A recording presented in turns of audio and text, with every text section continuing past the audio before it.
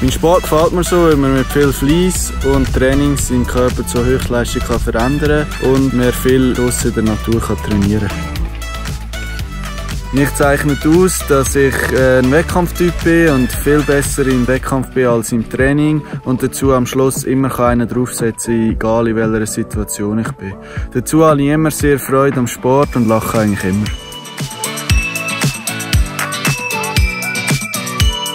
Nomination für einen Sporthilfe Nachwuchsbereich bedeutet mir vor allem Anerkennung für meine erbrachte Leistung und motiviert mich brutal noch einen Vollgas zu geben, um meine Leistungen zu toppen.